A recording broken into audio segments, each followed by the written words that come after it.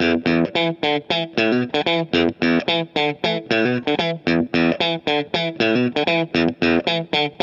how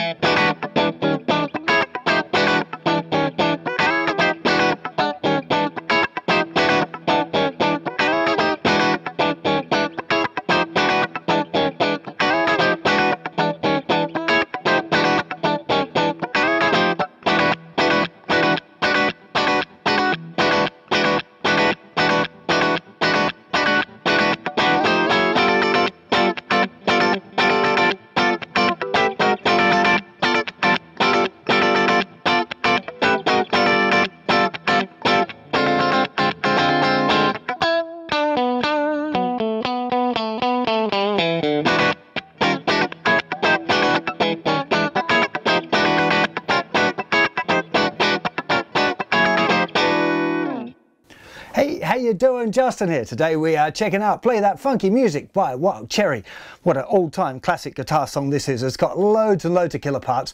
What I just showed you there was kind of a mixture of the two guitar parts in there, but I'm going to show you what they both are. But we're going to mainly focus on one guitar part, which is a kind of a good one if you were playing one guitar in a band or you wanted to play it by yourself. Because uh, the two parts together, of course, you need two guitar players to do that. So let's get to a close-up. Check out how to play this beast. So I'm going to take you through it one riff at a time and the first riff is the riff that you hear right at the beginning of the song which is this.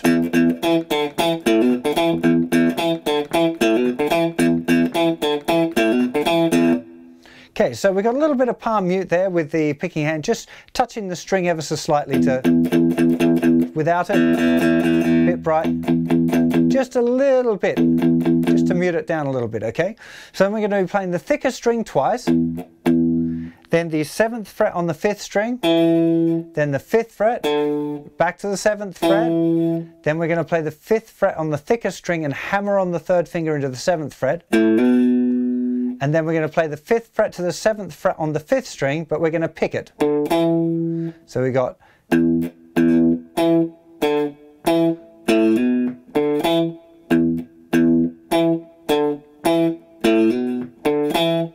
It's all going to take down picks except for that, that second last note, which is the fifth fret on the fifth string, which will be up, down. Okay, so we've got down, down, down, down, down, down, hammer, up, down, down, down, down, down, down, down, hammer, up, down.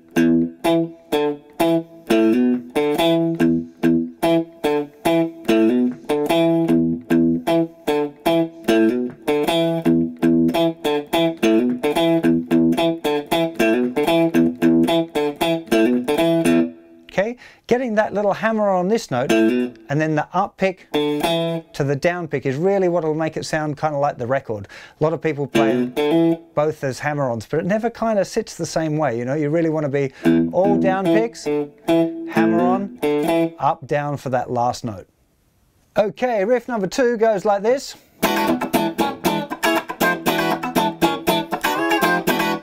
It's probably what most people hear as being the, the proper funky part in this song. It's a really cool little riff to play. So uh, we're starting off with an E9 chord. Now, uh, if you're not familiar with how to play an E9, you want to go and check out the whole dedicated lesson on uh, playing the E9 in a funk context. That's part of my funk guitar course. Not going to go through all the details of that now, but uh, you're going to play the E9, you're going to do a downstroke and an upstroke on the E9, and then you've got two scratches. So just relaxing the E9 to get the muted hit. So down, up, mute, up. Okay, now we've got this really cool little, which is actually an E7 chord, uh, and it looks very similar to the E9 obviously, but we're just relaxing that third finger so the thinnest two strings are muted. So we just end up having this 7th fret, 6th fret, 7th fret is what's sounding. Thinnest two strings are muted by the underneath of the third finger there. Okay, so we've got the E9, up, mute, up, Okay, this is just an E7. Make sure to mute the, the thicker string too with the tip of the second finger. And then E flat and back to E7 again. E flat 7 that is. So it's the same shape. Okay, E9, mute, E7, E7, E7. Okay, all down picks. Okay, again, E9, E7, E flat 7, E7. So after this little dominant seventh movement here, we've got this F sharp 9, which will take an up, uh, an up strum, which is the last 16th note of beat 3, and then uh, we move that down one fret to an F9, which will be a downstroke on the offbeat, the and. Okay, let me just play that whole bar nice and slow so you can see what's going on. I'll do the count as well. So 3E and a 4E and a 1E and a 2E and a 3E and a 4E and 1E and a 2 and 3E and a 4E and 1E and a 2 and 3E and a 4E and 1E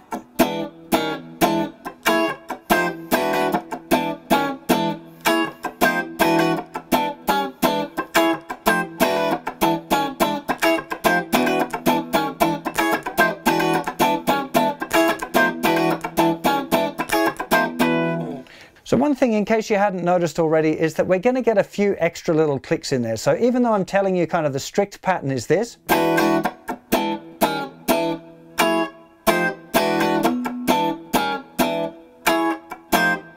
you can hear already it's really difficult to not get a few little extra hits in there, a few scratches, and that's cool, you know, because on the original recording there's plenty of those that just sneak in. So you end up with kind of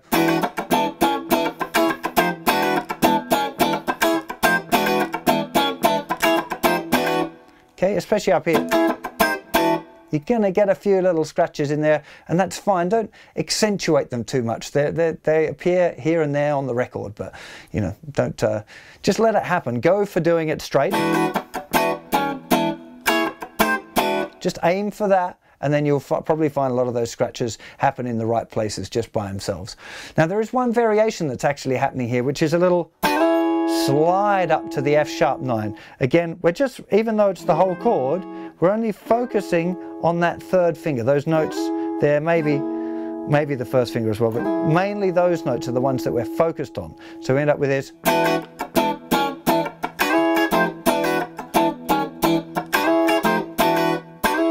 You can see that the other two fingers are traveling along with it, keeping those strings muted because we don't want to, if we just lift it up and go, we're going to end up getting all sorts of funny notes going on. But okay, so it's got to be seventh to ninth slide. Okay, so up, slide, up, down.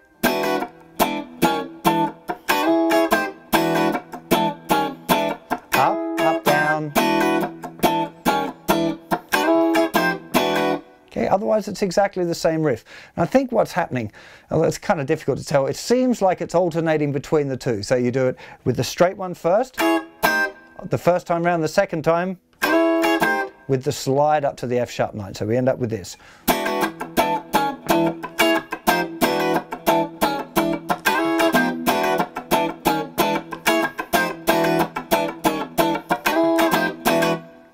So now into riff three, which is the little pre-chorus thing. They were dancing and singing bit, which is all just at E9 until right at the end. Uh, and we're doing this.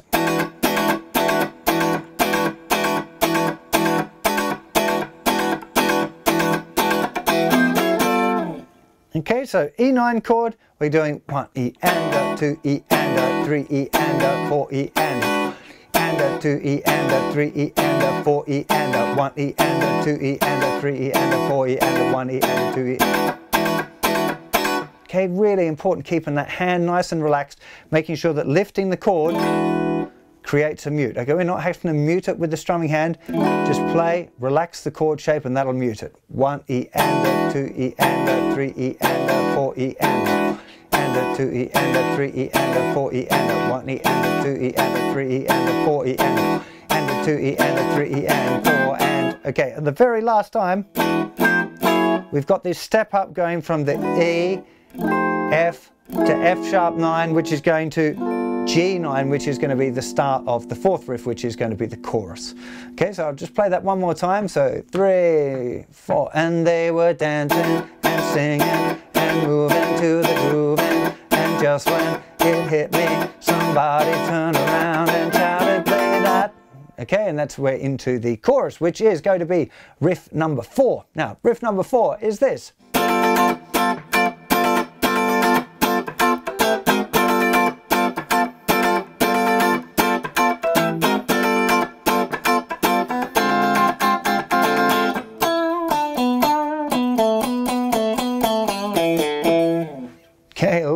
On in this one. Uh, so let's start off, we've got a G9 chord. And the rhythm pattern is 1E and a 2 and 3E and 4E. Okay, again, 1E and a 2 and 3E and 4E. Okay, 1E and a 2 and 3E and 4E. That's down, up, down, up, miss, down, miss, up, down, up. One E and a two and three E and four E. One E and a two and three E and four E and a one E and a two and three E and four E. One E and a two and three E and four E.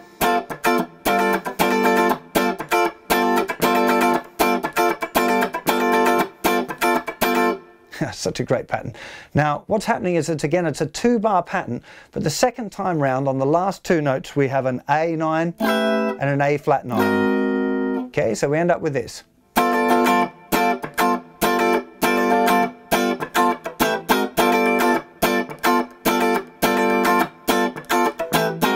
That, the rhythm of that as well, sorry, that's four and. So we end up with this, one E and a two and three E and four E and one E and a two and three E and four and one E and a two and three E and four E, one E and a two and three E and four and.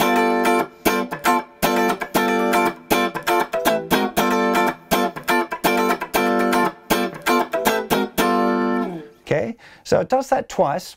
Uh, then it does one bar of the G9 and then we go to a B flat 9. Now, I must admit, I always played it as a B flat 9 up here, but having listened to it just now to do an accurate transcription for you guys, it is definitely a very cool B9, B flat 9 chord down here. This is the first finger in the fifth fret of the fifth string, third finger in the sixth fret of the fourth string, second finger in the fifth fret of the third string, little finger in the sixth fret of the uh, second string two outside strings are muted. Okay, that's a B flat 9 chord, and the rhythm that's played on this is 1 E and a 2 E and a 3 E and a 4.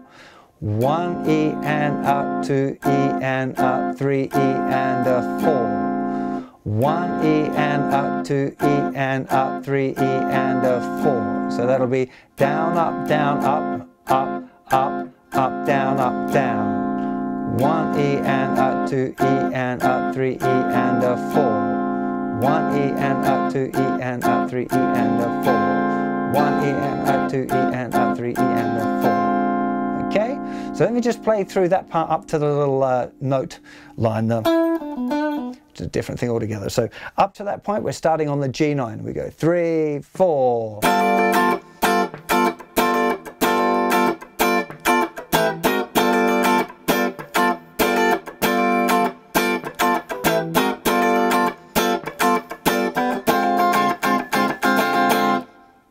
We've got the riff. Okay, pretty simple kind of a pentatonic uh, based thing.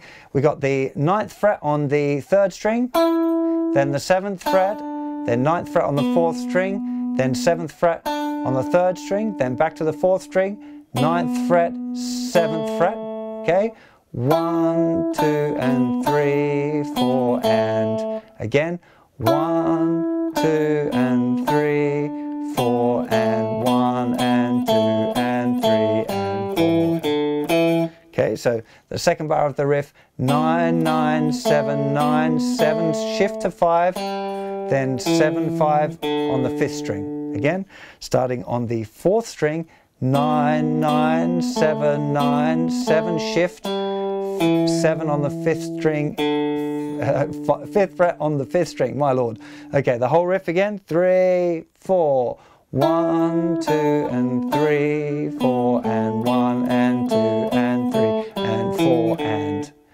three, four. One, two, and three, four, and one, and two, Okay, so let me just play through that chorus one time, including that little riff, and then I'll talk about uh, some of these secondary parts you might like to check out. So again, three, four.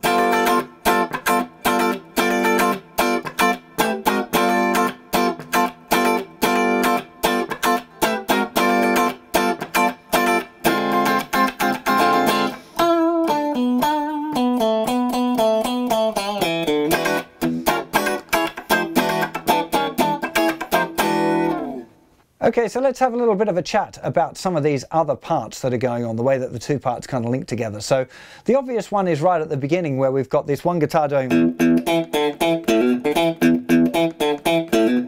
and the other guitar underneath going Okay, and those two parts work really well together. It's uh, definitely something you should be listening out for on the original recording. But uh, in the pre-chorus as well, when we've got uh, one guitar doing them. Okay, the other one's going. Just seventh fret, fifth fret, and back to seventh fret. One and two and three and four and one and two and three and four and, and two and. Okay, and then into the chorus when the, the is doing the that part, the guitar actually, uh, the, the original guitar goes right down to the third fret there. He's actually playing the same as intro riff but in G. So third fret on the thicker string, then fifth fret, third fret, fifth fret on the fourth string, third fret, fifth fret hammer on on the fifth string, and then picking the notes third fret to fifth fret on the fourth string. So.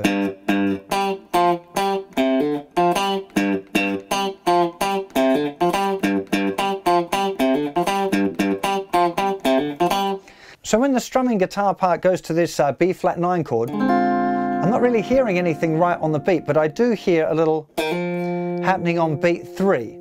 Okay, it's a little bit unusual, but that you don't need to have guitar parts going all the time. Very often it's nice to have a bit of a bit of space. Or it could be going. I just can't hear that B flat. That would kind of make sense to have one, two, three, four. Then he plays an E note when the riff starts. When that's going on, he plays an E note and then this B7 sharp 9 chord, which is 7th fret, 6th fret, 7th fret, 7th fret, just like an E9, but moved over onto the wrong strings. Okay, and just playing those four strings. It's actually the same as the Hendrix chord, but uh, with a six string root. It's the way that you play the Hendrix uh, chord with a six string root if you wanted to. So the second guitar part in the chorus will be this.